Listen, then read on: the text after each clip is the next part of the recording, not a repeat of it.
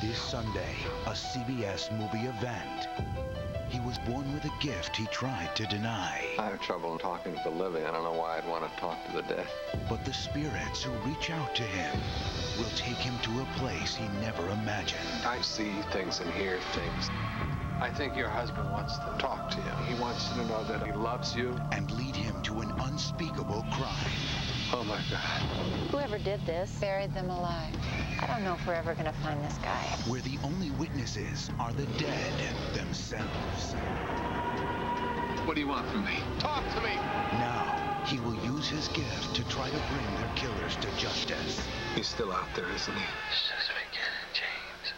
Award winner Ted Danson, Academy Award winner Mary Steenburgen, Golden Globe winner Diane Ladd, Queen Latifah, and Academy Award winner Jack Palance in a CBS television event, Living with the Dead, CBS Sunday.